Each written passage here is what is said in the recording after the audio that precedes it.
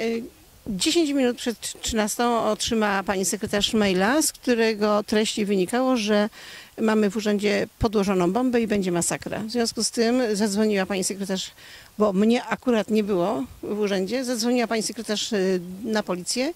Była rekomendacja nie ewakuować, ponieważ okazuje się, że tych e, ostrzeżeń było kilka w naszym terenie.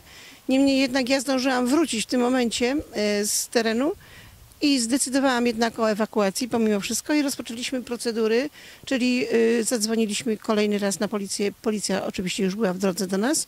E, przyjechali pirotechnicy, sprawdzili urząd. Zadzwoniliśmy do starostwa, powiadomiliśmy o zaistniałej sytuacji, jak również zadzwoniliśmy do Straży Pożarnej, która również e, przyjechała w bardzo szybkim tempie.